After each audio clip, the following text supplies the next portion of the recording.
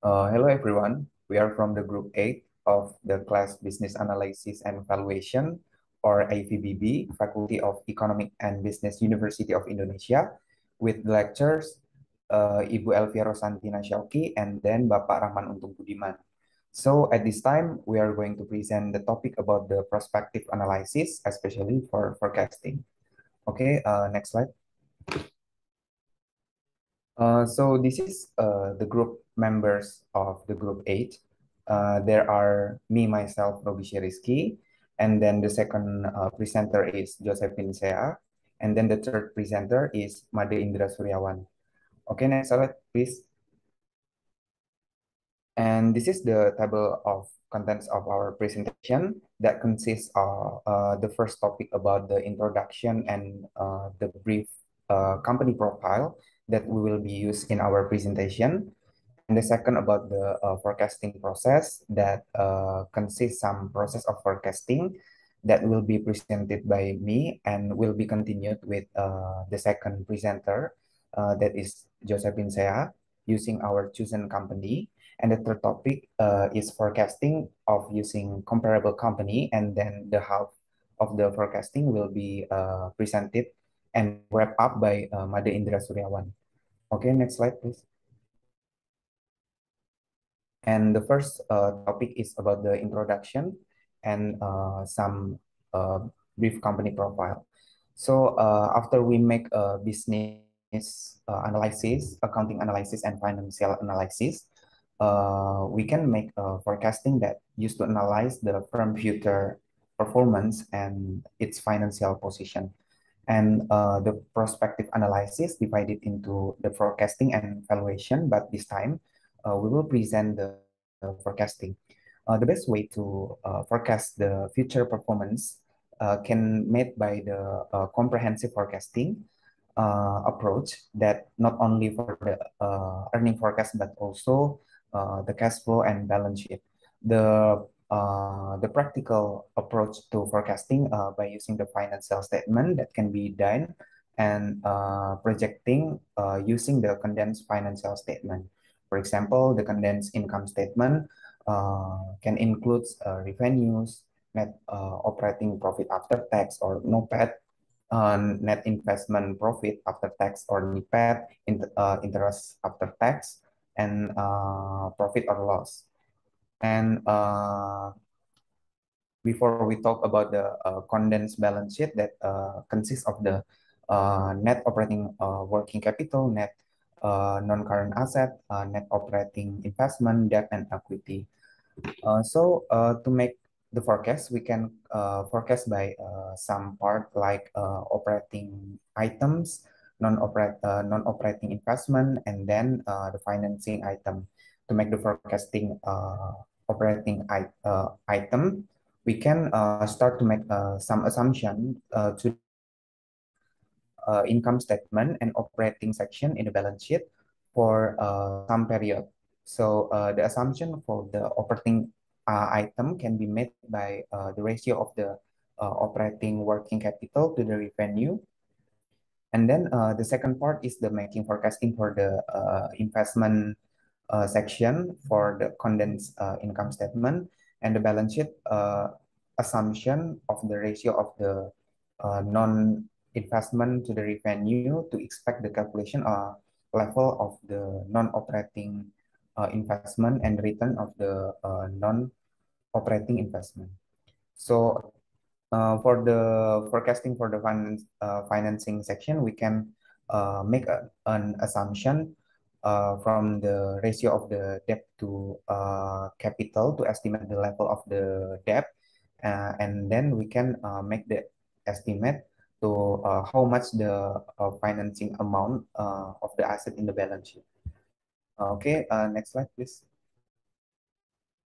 And uh, this is the company profile for our illustration. So there are uh, PT Medco Energi International Tbk and then uh, PT Energi Mega Persada.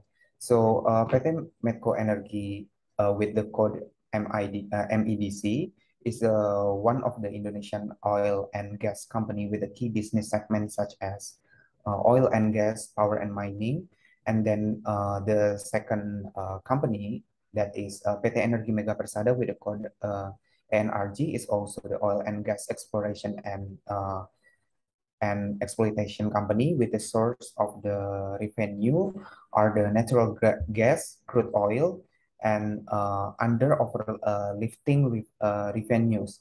But uh, in MIDC, uh, it has a source of revenue from the oil and gas, electricity power, and the lease and finance income. income. Uh, so for the MEDC was founded by the Arifin Panigoro in 1980, while the ENRG uh, was found uh, by the uh, PT Bakrie Kalila or Bak uh, Bakrie Group. Bakrie Group. And uh, the year-to-date share price for the MEDC between the 505 until 1040 per share with the NRG has the 154 uh, 3 uh, until uh, 300 uh, 34 share.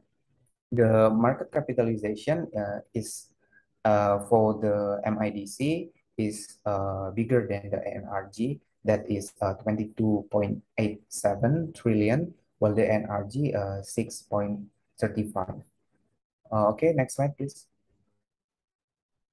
And this is the forecasting process. So there are uh, some steps for the uh, before we make a forecasting. Uh, okay, next. Uh, okay, this is about the forecasting process that uh, have some uh, step of forecasting before we doing a uh, prospective an analysis. Uh, we make uh, the expected uh, to make uh, the expected performance. The analyst usually uh, use a historical relationship between the financial performance, firm uh, and industry uh, industry strategy and accounting decision to make uh, the future forecasting. So there are uh, some steps for the forecasting process. Uh, the predict change in the environment, uh, environmental and the uh, firm specific behavior. Uh, so this is the first step for uh, to make the forecasting. But the second will be the assess the relationship between the step one factor and the financial performance. And the last step is we can make a forecasting from the previous step. And the step uh, for this first step, before we make a forecasting, uh, is the predict change in the environment and the firm specific factor. The change in the in environment and the firm specific uh, factor in the future, such as the macroeconomic and the industry competitiveness. So uh, the change will influence the company to, uh, to respond. And there are some microeconomic analysis so the first one uh, is the market demand, and uh, there is a change before uh, and during the pandemic, and uh, so there there is also the future uh, period. We think that the pandemic will end, and so it will impress the operational activities and recovery back to uh, normal. So the demand for the oil and gas company, we expect it will increase Besides, uh, the government uh, for the oil and the gas, uh, it will also increase the demand for the. And the second uh, factor is the market price. The crude oil of the uh, selling price, both the uh, MIDC and the ANRG, is based on the ICP or the Indonesian uh, crude price that uh, which is uh, established by the Ministry of the Energy and the uh, mineral, uh, mineral resource.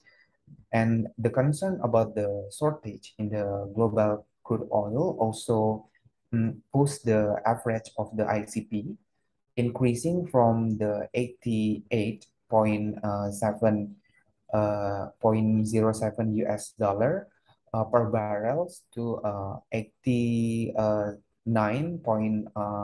89.10 uh, US dollar per barrel in October to, uh, 2022.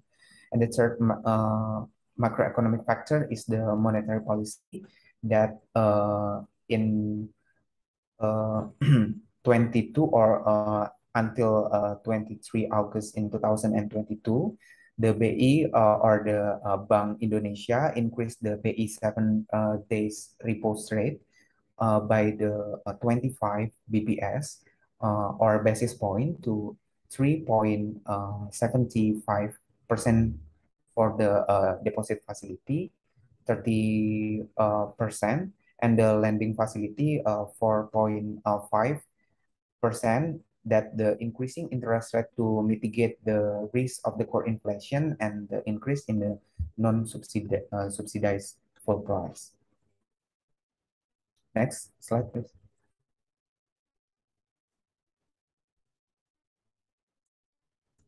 And uh, the increase of the price and demand uh, is also uh, influence the business strategy analysis. So for uh, the MIDC, uh, this uh, also influence the MIDC to uh, to looking uh, the growth to maximize the develop opportunity that existing the asset and uh, the oil and gas business continuously uh, seeking opportunities to extend their uh, reserve life and uh, value to the low risk explo uh, exploitation and exploration. But uh, in the and in the NRG, uh, the business strategy analysis, uh, the business strategy, they are planning to reduce the company liabilities and seek for the financing and refinance with the most effective and uh, efficient and to maximize the cost uh, efficiency that bring the prospect asset to enhance the group commercial production. And for the NRG, uh, uh, they also uh, find a new spot or reserve to uh, drilling and also the uh, for the exploration and uh, exploitation gas and oil uh, area in the uh, Malacca Strait that uh, it will uh, can make a prospective uh, performance in the future. Okay, uh, for the next slide, it will be continued by the Josephine. Okay, so uh, still in the first step in uh, before making a forecast, part of it is analyzing the accounting policies uh, of the company. So for key accounting policies, both uh, MEDC and EN, ENRG uh, have applied PSAK 73 for lease liability and also PSAK 72. Uh, and for uh, accounting flexibility, both firms have flexibility in doing impairment tests on oil and gas properties, and also uh, they are uh, allowed to be flexible in stating the results of the test. And they also have flexibility in using estimates for obligations, for provisions, fixed asset useful lives, contract value, and uh, so on. And also for the accounting strategy, both uh, Medco and Energi use similar accounting policies with uh, other firms and the norm in the uh, oil and gas industry. Next. And for the quality of disclosure, our group has concluded that both companies have uh, a pretty good quality in the disclosure. Uh, for Medco, they openly discloses non-financial bad news, such as several lawsuits filed, uh, filed about the company, disputed claims, and their response towards both lawsuits and disputed claims. And for Energi, they also openly disclose uh, bad news of their financial performance, which is the total current liabilities has exceeded their uh, total current assets. And uh, they also communicate their actions and plans to mitigate uh, the going concern issues that arise from uh, the, the event and also their efforts to seek more efficient and effective financing. So we have concluded that both companies have disclosed uh, risk related to their operations and also uh, the risk management plans and policies in a very comprehensive manner. And for potential red flags, uh, uh, we also have concluded that there are no evident potential red flags analyzed in both companies' reports, as both companies, uh, we think that they have uh, fairly and truthfully uh, stated their financial performance. Next. And also for the step two, before we make the forecast, is to assess the relationship between step one factors and uh, financial performance. So the projected increase in oil and gas price and the spike of demand for both uh, companies will provide huge opportunities uh, for the companies in the industry to cater to their customers and also optimize their ability to supply the commodities. Innovations and technology will also help both companies at every stage of the oil and gas life cycle and will promote efficiency in exploration, drilling, and production process. However, companies in this industry should be prepared for government inter interventions in keeping the prices of the commodity low through various price regulations. Uh, and also, companies should also watch out for huge shifts and transitions from oil and gas energy to clean energy as encouraged by regulators and environmental orga organizations. Okay, uh, we are entering the forecast section. Next. So the first one, we are going to discuss about the energy and the assumption for forecast of the company. So uh, as you can see in the slide, uh, here are some brief assumptions. We are using some calculations of uh, the total revenue growth, uh, and we split the revenue for natural gas and crude oil, and also the under or overlifting and DMO. And then we also uh, use the percentage of revenue method, which consists of COGS as percentage of revenue, G&A expenses, other income, other charges, and tax expenses. So we also have averaged the total uh, from the historical performance, and then we uh, try to forecast it for 2022 and until 2025. So the source of revenue consists of 73% of natural gas sales, 34% of crude oil and 6.6% for under or overlifting and DMO. This is based on Q 2022 financials. And for revenue, we assume that considering the price and demand of gas and oil are expected expected to rise, uh, we also projected that there will be growth in the total revenue. And for under or overlifting and DMO, this this is a new account only existing in 2020 and it was non-existent before. So we uh, also make assumption based on that and the lack of historical data for the account and for cost and expenses uh, and balance sheet items assumptions are made by taking average of past performance behavior next uh, so this is the result of our forecasting process uh, for an uh, PT Energi Mega Persada. This is for the income statement. So the highlight is that the revenue for energy still shows an increase through the years. However, in 2023 and, and, and 2024, we expect that there will be a decrease since uh, we project and we forecasted that there will be substitutes for um, gas and oil energy.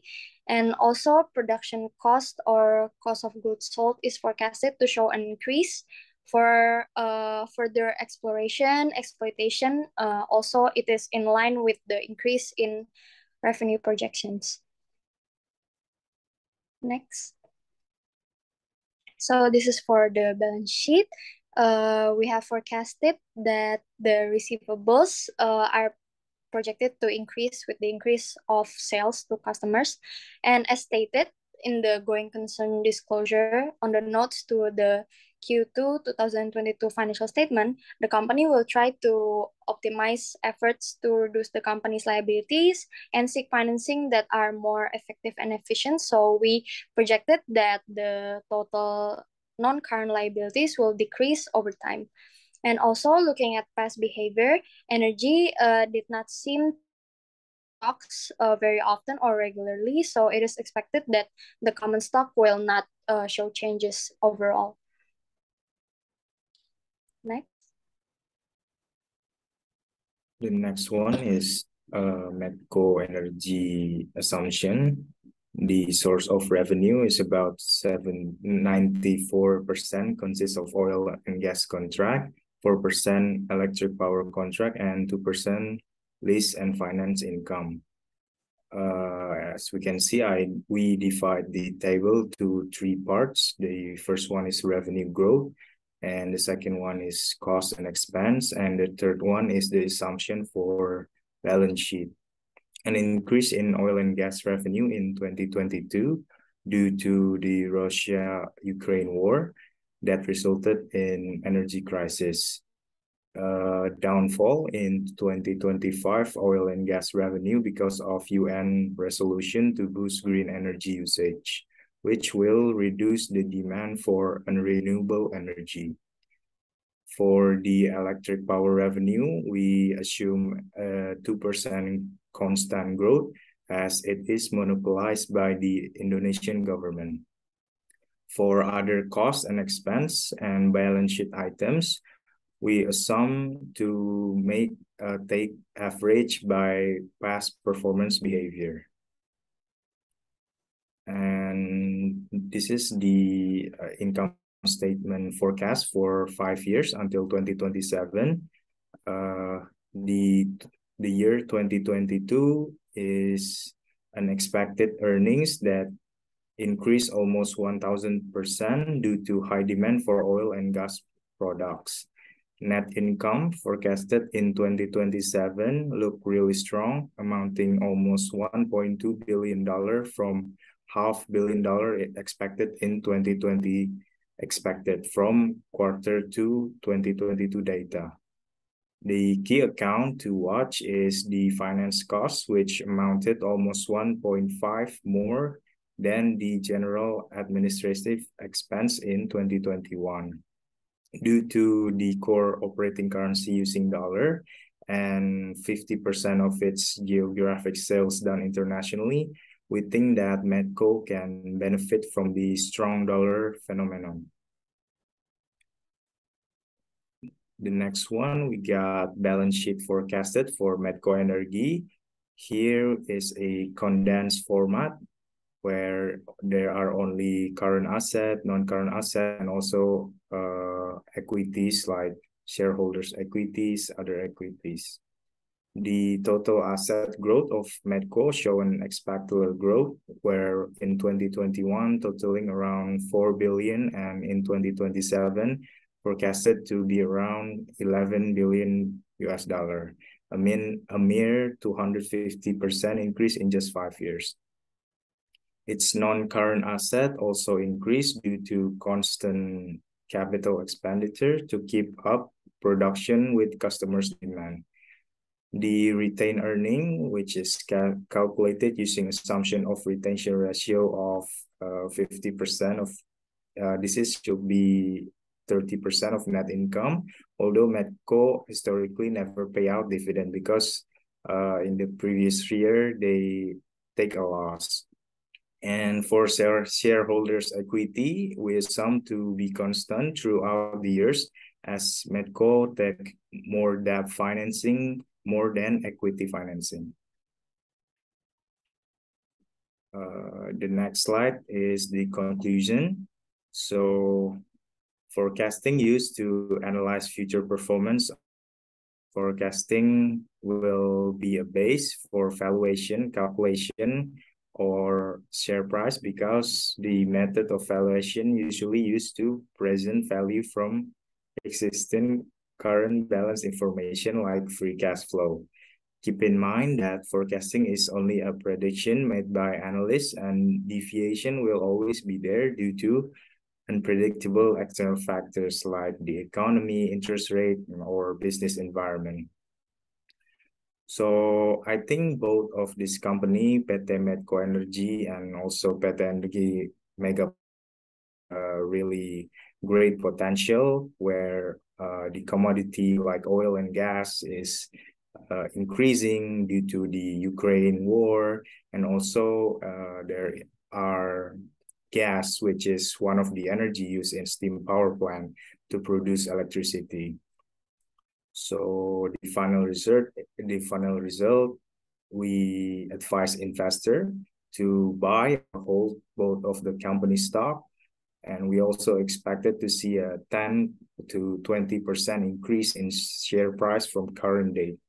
We also advise to hold until next year, around half quarter, where earnings announcement will be made or maybe a potential dividend will be made.